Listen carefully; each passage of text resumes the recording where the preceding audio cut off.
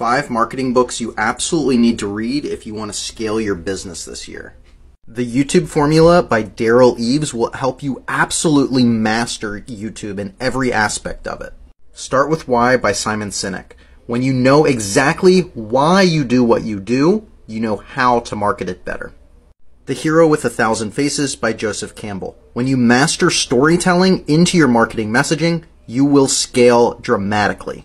Read the entire Secrets series by Russell Brunson. There's also Traffic Secrets, which is his newest book. Highly, highly recommended. And those are